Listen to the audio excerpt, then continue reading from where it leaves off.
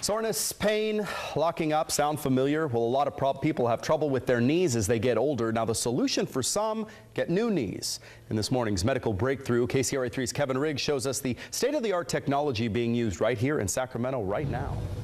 I want you to look for the oil leak that we've been trying to find under this car, okay? John Allen has been an auto mechanic for 30 years and works eight hours a day as an instructor at Universal Technical Institute in Sacramento. So you go to that side, I'll do this side. That's a lot of wear and tear on his knees. It's coming to the point where by the end of my shift here, my eight hour shift here, I'm limping pretty bad. Beyond just sore, Allen's left knee is shot. It's bone to bone. To erase the pain and preserve his career, Allen's having a kinematically aligned total knee replacement, a procedure in which parts of the knee joint are replaced with artificial parts. We essentially sort of restore it back to its normal origins before it became arthritic.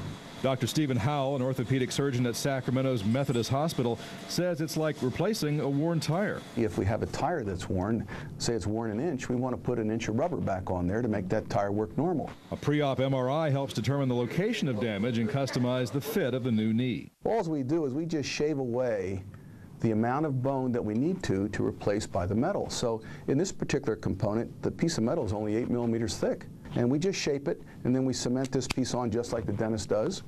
And on the tibia, we cut the top of the arthritis on, we create a slot, and we put cement in just like that and cement both sides. And the cement sets in 10 minutes. Kinematic replacement takes the place of more invasive knee replacement methods that require the insertion of rods and more exposure to the knee area. It also straightens the limbs back to their normal position. I'll be able to uh, walk normally and have normal activities without pain. Patients are up and walking that day, and Dr. Howell says 90% of his patients go home two days after surgery.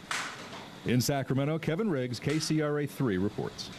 Uh, find out if you're a candidate for kinematically aligned knee replacement. You can log on to our website at kcra.com slash morning news. You can also find links to the rest of this week's medical breakthrough stories there as well.